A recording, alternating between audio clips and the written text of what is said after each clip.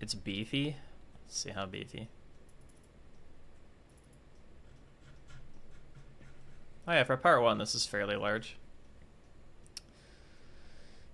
Uh, we're making a number of changes to improve how characters mitigate ailments, use flasks, and build their defense of their characters. We're also addressing the extreme power of auras and curses in parties, while improving the strength of these mechanics for builds with a smaller investment. Finally, we're changing elemental overload and elemental equilibrium and massively buffing elemental damage over time to be less dependent on them. Wait, it's an RF league. It's happening.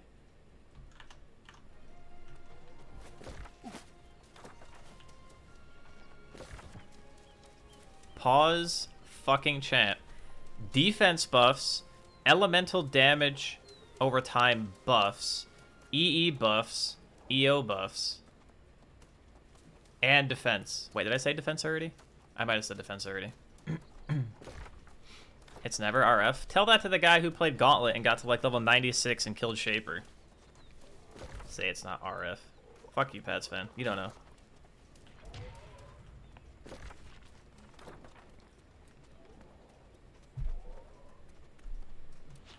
Man killed Sh Gauntlet Shaper as RF as a jug. Good God.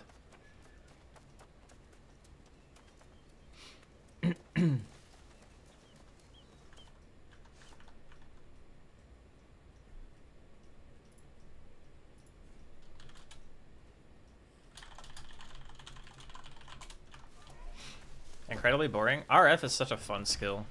It doesn't have any right to be as fun as it is, but it's so fun.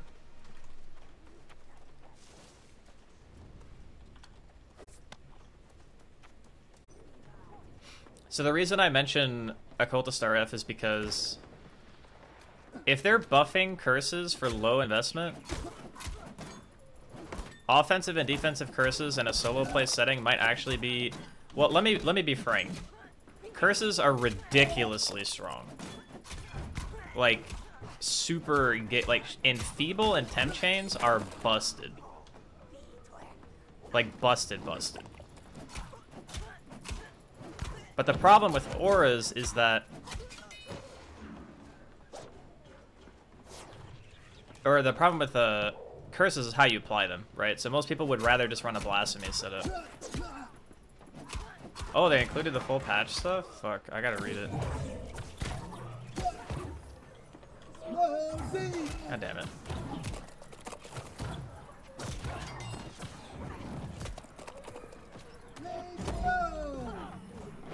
I only read like the first paragraph.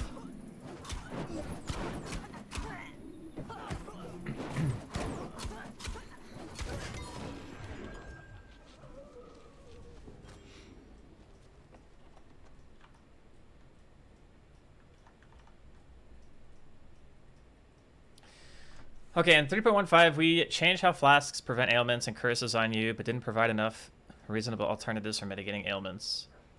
Uh, solution. Introduce a large number of options and improve existing options for characters to deal with ailments. Characters should now be able to pick between reservation skills that mitigate ail ailments, remove effects reactively with life or mana flasks, gain immunity at a cost through utility flasks, or use improved modifiers on items and the passive skill tree.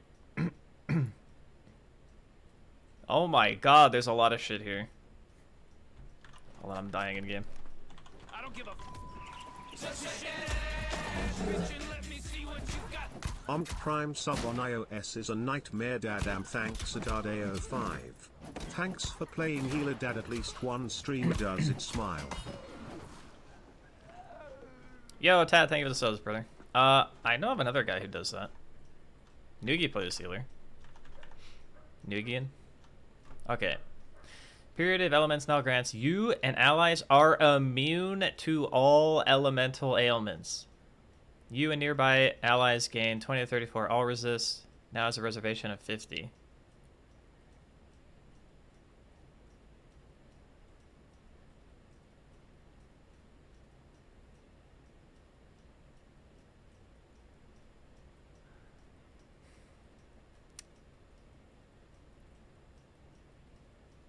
Do I like that? I don't know if I like that.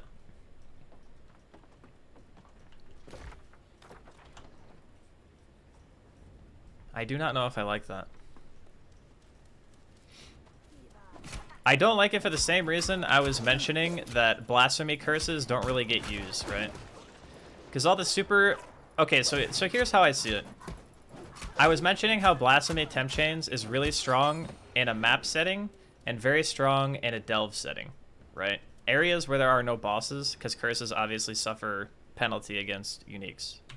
Um, the reason that people don't do it is because you lose too much damage, right? Depending on how much reservation you have, you're sacrificing anywhere from 35 to 70 to however much percentage of your mana pool, which means you can't run an aura.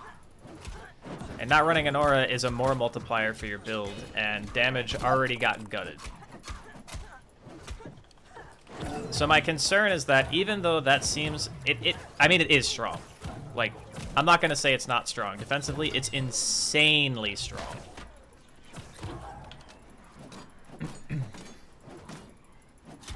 it might actually be strong enough to the point where it's worth just using it, and then you just invest in more offensive options on the tree. Like, you won't get, you won't have to get thick skin anymore. You won't have to get crystal skin anymore. And you could just use those nodes for damage. I guess that's the trade-off. And hardcore, you're probably going to have to do that. Like, when you're leveling now, you're literally just going to pick up Purity of Elements as soon as you get it and not take it off. Ever. like, ever, ever. For some builds. Some builds might take it off. Alright, let me read some more of this. Anomalous Purity of Elements no longer grants blah blah blah. Chance to avoid. Instead it grants 10% increased effective aura. Eternal Labyrinth enchant for Purity of Elements reservation has been changed to match the values of other 50% reservations. Steel Skin now grants a buff. You are immune to bleeding during effect. So does that mean it removes it too?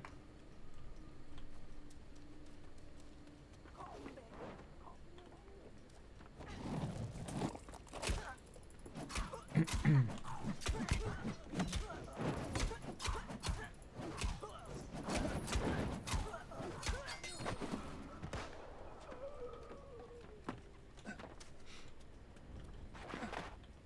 think we just sit here for a second. Tempest Shield now a reservation effect and grants immunity to shock.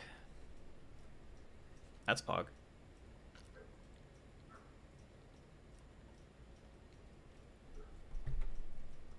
Utility flasks now have modifiers that grant immunity to an ailment flask, but lessen the duration of the flask. This takes the place of modifiers that give specific ailment immunity if used while the ailment is active. Okay. So 35 to 39% less duration. So that means a fully rolled flask would be like three seconds of immunity, right? I don't think you can get a flask to last longer than three seconds. New tiers in the modifiers that give immunity to an ailment if used while the ailment is active have been added to life and mana flasks, providing up to 17 seconds of immunity at the highest tier. New tiers of the modifiers that give immunity to an ailment if used while an ailment is active. Okay. so if you remove a bleed, you can get 17 seconds of bleed immunity. Allied Consecrated Ground now grants 50% reduced effective curses while you stand on it. That's really good. A rebalance to passive clusters that provide ailment protection, as well as new passives across the passive tree. Between Templar and Witch, Asylum now grants Chaos Resist, as well as protecting against curses, instead of increasing Consecrated Ground effect. Between Witch and Shadow is a new cluster to protect against poison, bleeding, and stun.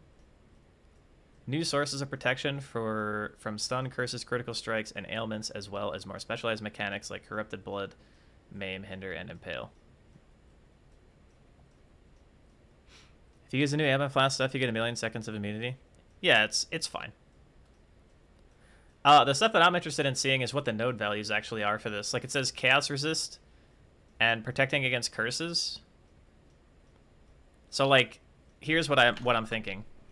Can an Inquisitor just get almost full curse mitigation from being on consecrated ground, right? If you get a node from the tree or a wheel from the tree, and then you have that, how how cur like are you even curseable at that point? Is what I'm I guess what I'm saying. or if the curse is applied, does it even do anything? New Keystone passive skill added to the center of the tree that causes intelligence to provide no inherent bonus to energy shield, but instead reduces elemental ailment duration on you. I wonder what the ratio is. It's probably some really high number, though, that's not going to be worth it.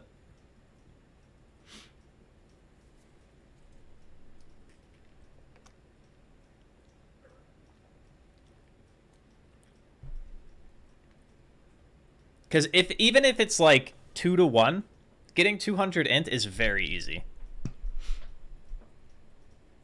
If it's one to one, it's busted. If it's two to one, it's still pretty easy. If it's three to one, it's shit. Because 300 int's way too much. Actually, maybe that's wrong. Maybe it's not shit at 300. Because, like, realistically, how many suffixes do you need on an item if you don't need ailment immunity anymore? That it might still be okay at 300.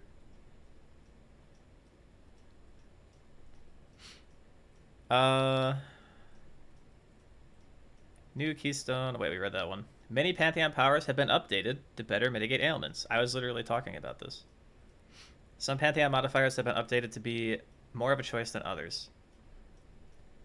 So the Brine King Pantheon now grants cannot be frozen instead of you cannot be frozen if you've been frozen recently. Pog. Soul of Arakaali no longer grants 10% chance to avoid lightning damage from hits. Now grants 10% reduced damage taken from damage over time. Upgraded Soul of Arakaali Pantheon no longer grants 30% reduced effective shock or 30% reduced shock duration. Instead, it now grants debuffs on you expire 20% faster. Upgraded Soul of uh, Arakaali Pantheon now grants 40% chaos resistance over time instead of 25. Uh, no longer prevents. Wait. No longer reduces fire damage taken while moving or unaffected by burning ground. It now grants unaffected by burning ground as well as 10% increased movement speed while on burning ground. Shikari uh, and the upgraded Shikari Pantheon powers have been swapped. Soul of Shikari Pantheon now grants 50% less duration of poisons on you, and you cannot be poisoned while there are at least three poisons on you. That's actually really fucking good. Upgraded Soul of Shikari Pantheon now uh, grants 5% reduced chaos damage taken and 25% reduced chaos damage over time taken while on caustic ground. Yeah, Brine King gang rise up for sure. Soul of Ralakesh no longer grants 25% chance to avoid bleeding, now instead grants moving while bleeding doesn't cause you to take extra damage. Oh, so that's just the uh, neck thing. The blood grip amulet.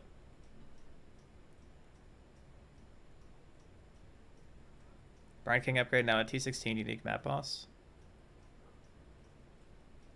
Yeah, it is. It is the upgraded one. That's true. Soul of Yugul no longer grants 50% chance to reflect enemy chills and freezes. Instead, now grants 50% chance to reflect hexes, and you and your minions take 50% reduced reflected damage. Upgraded Soul of Yugul now grants 30% reduced effective curses on you. So if you take Yugul and you're on consecrated ground, you're 80% curse reduced already. Pretty good. uh, Soul of Garukhan no longer grants plus 5% chance to evade attacks if you've taken a savage hit recently. Instead, now grants 60% reduced effect of shock.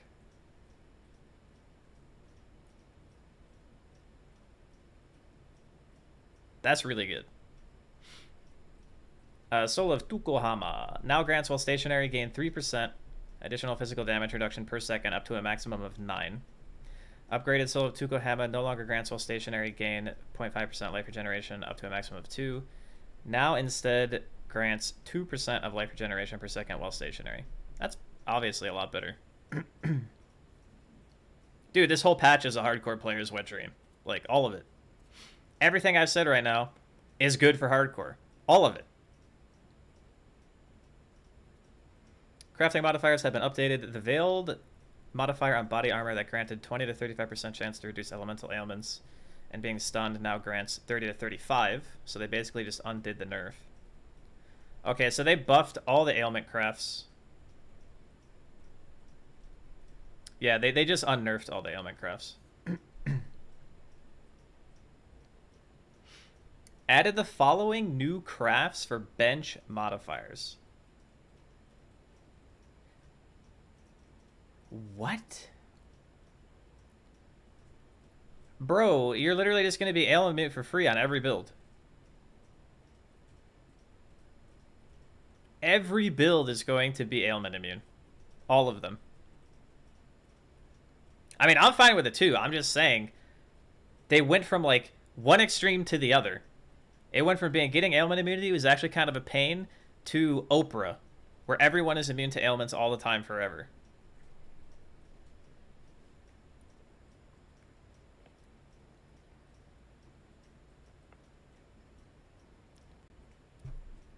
I honestly wasn't expecting them to do this much. Can I put it on the screen? Yeah, I can put it up. Hold on.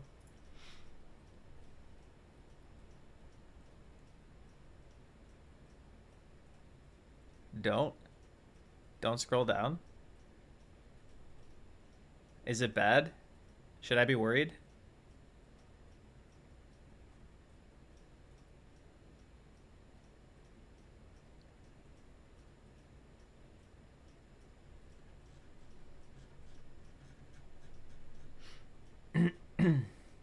Hold on. What is this one?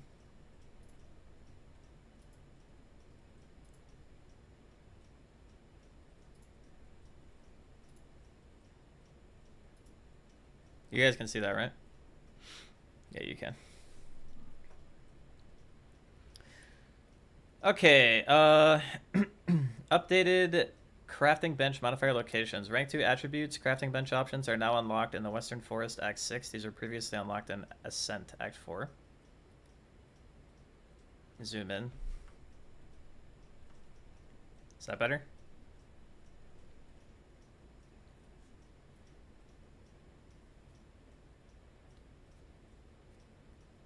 More? Bro, you guys blind as fuck. How's that?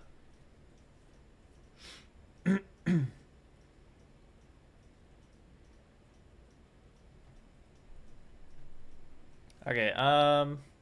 Alright, so they move some bench crafts around. The new belt crafting bench option is unlocked with other reduced damage over time crafting options.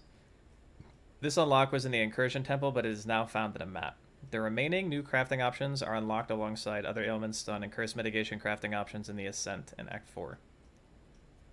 The modifier level of existing modifiers in the rank 1 ailment, stun, and curse mitigation category have been lowered, so the item level requirement of the item is appropriate if you use this craft during the campaign. Okay?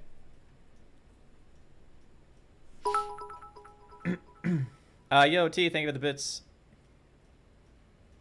Chance to avoid all elemental status ailments can now roll as a suffix on all shields, previously just dex shields. Tier 1 chance to avoid all elemental status ailment modifier can now grant up to 35% chance from 23. Lower tier modifiers have been adjusting accordingly. Chance to avoid ignite free shock modifiers on Crusader boots and quivers now scales up to 60. And lower tier modifiers have been removed. Elevated modifiers have been adjusted accordingly. Okay, so this is all the same. It just pertains to different types of elements, which is fine. Uh, the moving while bleeding doesn't cause you to take extra damage modifier can no longer roll on Hunter Shields. Okay.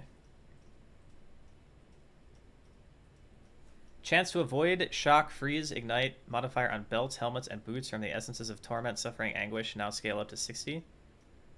Uh, lower tier modifiers have been adjusted. Improved avoidance suffix modifiers on abyss jewels. Okay.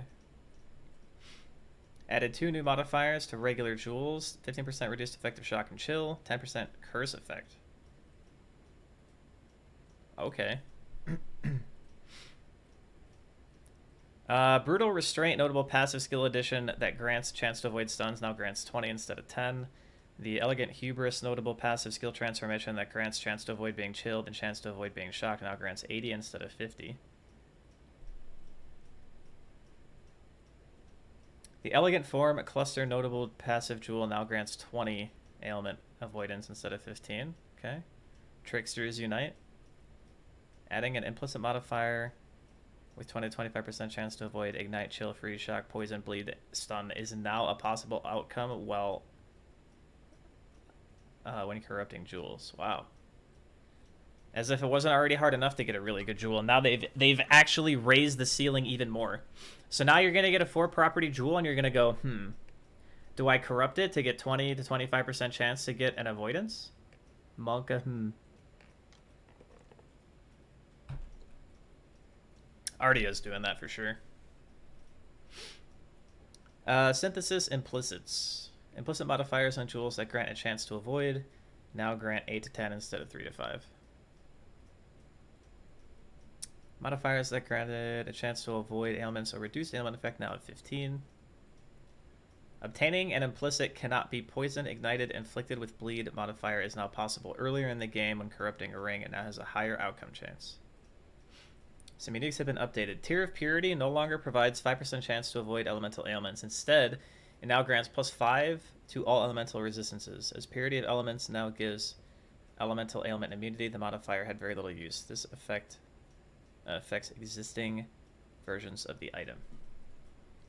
Conqueror's Longevity no longer has 10% uh, now grants 10% chance to avoid ailments instead of 3. The Ghastly Theater Shield, bleeding cannot be inflicted on you or now grants cannot be inflicted with bleed. Previously 30 to 50% chance to avoid bleeding. Kikazaru gang 60% curse uh, reduction instead of 40 it's pog. All right many flask modifiers grant buffs during flask effect which isn't well suited to a life or mana flask short and reactive nature added new modifiers to life and mana flasks that are impactful but brief and have a duration rather than applying during a flask effect.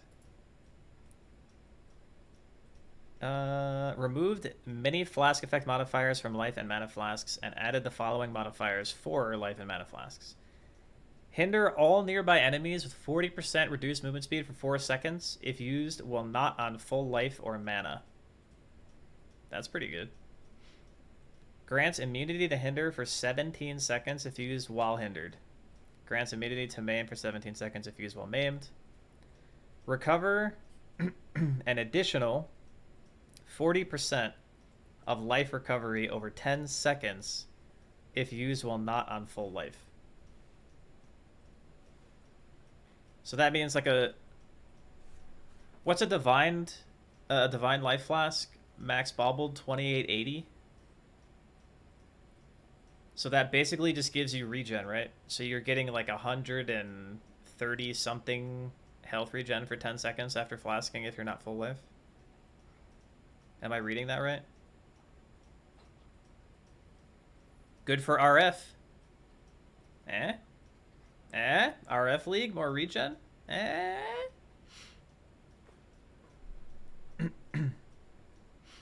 Duration change? It literally says for 10 seconds. If it's giving you 40% of the life recovery of a flask over 10 seconds, that means it's healing you for a static amount for 10 seconds, regardless of whether you hit full life or not. That's the whole point of the flask. So that this is telling you that a baubled flask, non-hillicked, I guess, because you could theoretically get it higher, is 2880. So you're getting roughly 130 health regen. It doesn't matter what the duration of the base flask is because this is a, su a suffix on the flask that you can roll. And it's independent of the base value or base duration of the flask.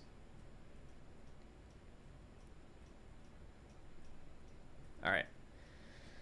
Utility flasks are usually used proactively, but the ailment protection modifiers introduced in 3.15 work by reacting to an ailment on you.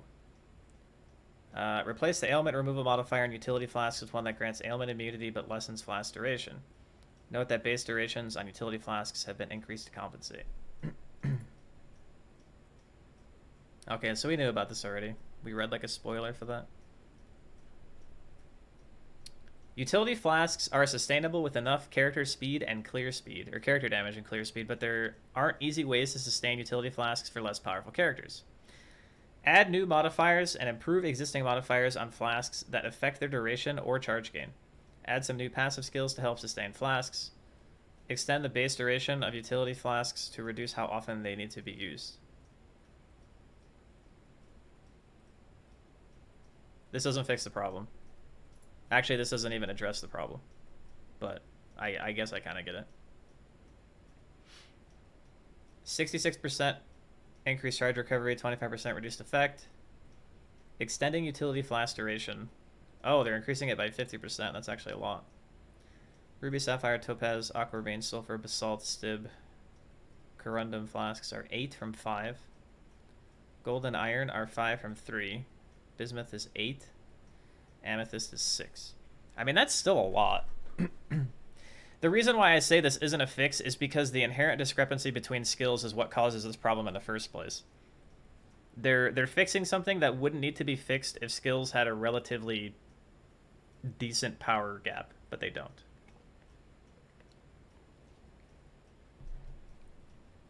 Or if the gap was smaller, but they don't.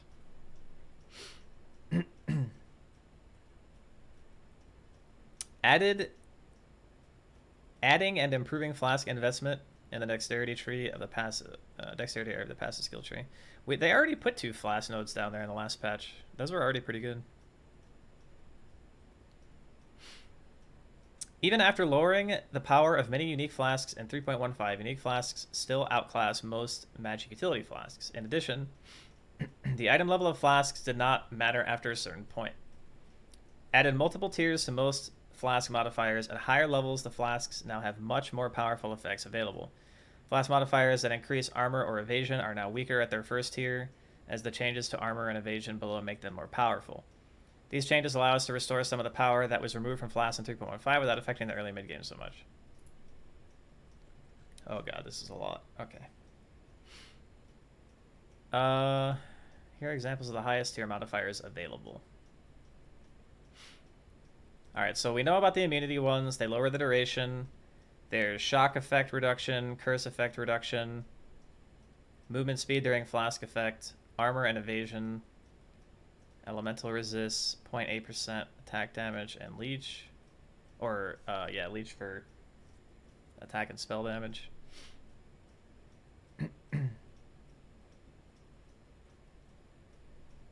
Stun avoidance. I mean, the 17% attack and cast speed is probably the best one so far. The reason I say that is the prevalence of ailment mitigation and immunity that they are saying is going to be in the game means that flasks will probably not be necessary for this thing anymore. And you'll be able to get it with such a low investment that you might want to roll your flasks differently. Like 17 attack speed is a fuck ton. Like if you can stack the same suffix I've never actually tested this, but does the attack speed suffix actually stack between flasks? If I have three of them, am I getting it three times? I feel like you are, because it just says increased attack speed. It's not like a buff that's being applied. The old suffix that applied immunities, like immune to, to freeze or immune to poison or whatever, that was a literal buff on the character. But I feel like 17 attack speed for a flask slot multiplied by 3 or 4, that is a lot of damage just by hitting flasks. Uh, let's see what else we got. All right, avoidance, block and stun recovery, reduce charges, charge recovery, chance to gain a flask charge when you gain a critical strike. The surgeon mod is actually maybe almost back to a usable state.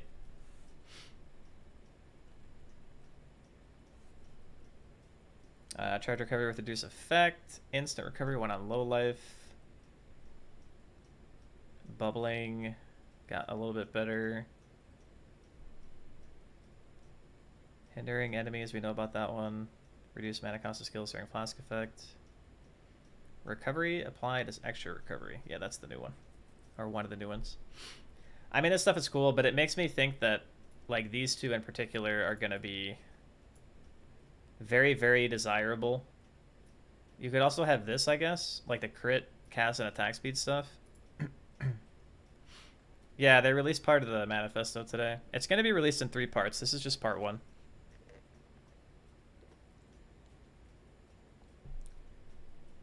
Enkindling effects on flasks are not impactful enough, and aren't bringing flasks back to the kind of power that non-permanent uptime should grant. Buff some enkindling orb effects, most notably the increased flask effect modifier.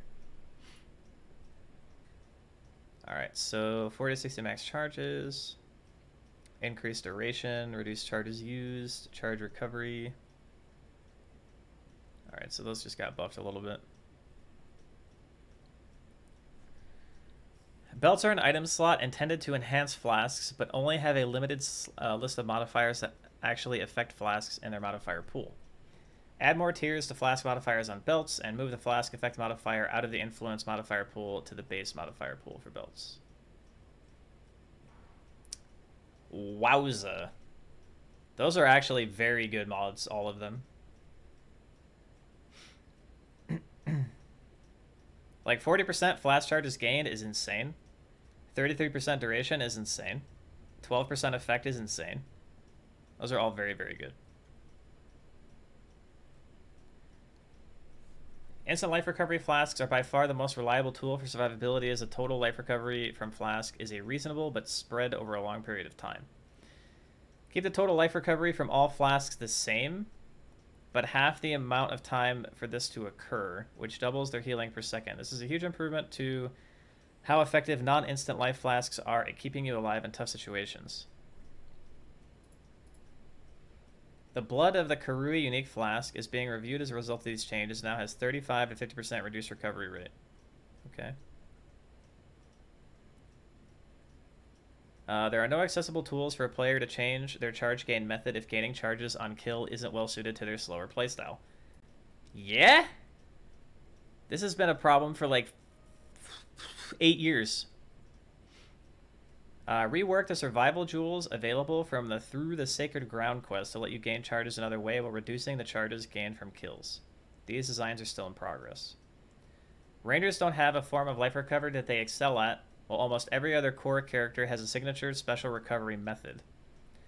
Add new and improved existing passive skills specializing in the recovery of charges for life and mana flask, as well as life recovery from flasks in the ranger section of the passive skill tree. Added life regeneration if you've used a flask in the last 10 seconds, and mana gained on hit with attacks if you've used a mana flask in the last 10 seconds to the ranger's starting area. Added new passive skills in the ranger section of the passive skill tree that increase generation of life and mana flasks, including gaining a life flask charge on hitting enemies with a short cooldown. Added new sources of life and mana flask gaining charges every 3 seconds, and life flasks gaining charges when you suppress spell damage. The fuck does that mean? when you suppress spell damage. What the fuck does that mean? Anyone? Mod check? mod check? Mod check?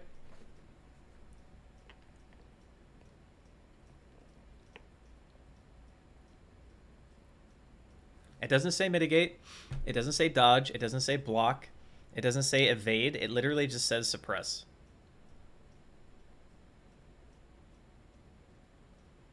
It's gonna, it's gotta be a new mechanic. Uh, that concludes part one of our 3.16 expansion balance changes. Tomorrow we'll share part two, which covers our plan for core character defenses and recovery. Please keep in mind, as we're so far away from launch, elements of what we've written here may change after further playtesting, feedback, and iteration. There's plenty more to discover in our upcoming reveal of Path of Exile Scourge and its and its patch notes. See you tomorrow. Okay. Okay, okay, okay, okay, okay, okay, okay.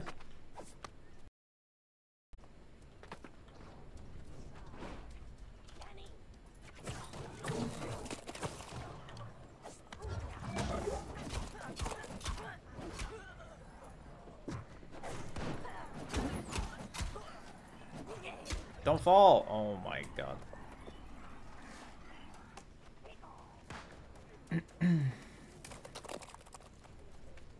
Yeah, it... Okay, so here's what I think. It's gonna go from being too hard to too easy, and ailments are just gonna be ignored again. That being said, having them just be ignored is better than them being impossible to deal with. I think that's just true. I think that it was shitty that there was no way to, de to deal with curses. I think it was shitty that ailments could only be dealt with by a few classes. And this stuff definitely helps with that.